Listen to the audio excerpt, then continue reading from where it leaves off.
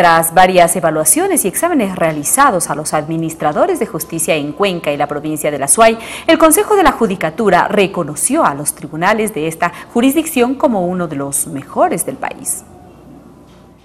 Varios temas abordó el presidente de la Corte Provincial de Justicia de la SUAY, Mauricio Larriba. Se refirió al reconocimiento otorgado por el Consejo de la Judicatura que los ubica como uno de los mejores tribunales del país. El Consejo de la Judicatura en reunión celebrada por su pleno en esta ciudad de Cuenca el día martes ha reconocido a nuestros tribunales como unos de los mejores del país por nuestra evaluación permanente que viene desempeñando el Consejo de la Judicatura, tanto de la productividad como de la capacidad de cada uno de los jueces. El reconocimiento además ratifica la calidad de los jueces y juezas que imparten justicia en la provincia, personal que ha sido evaluado periódicamente por el Consejo de la Judicatura, que ha implementado políticas para mejorar la calidad de los servicios en la administración de la justicia. Ese es el objetivo que ha tenido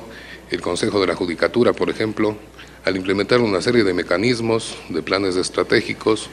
de políticas para buscar el mejor servicio, el más ágil, la realización de los objetivos, de los procesos, procesales como tales y en definitiva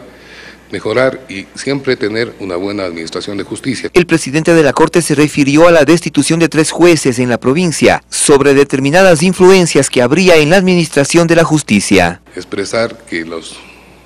tribunales a los que, a los que nos estamos refiriendo y a los que representamos actúan de una manera transparente, sin eh, recibir influencias ni consignas de ninguna especie,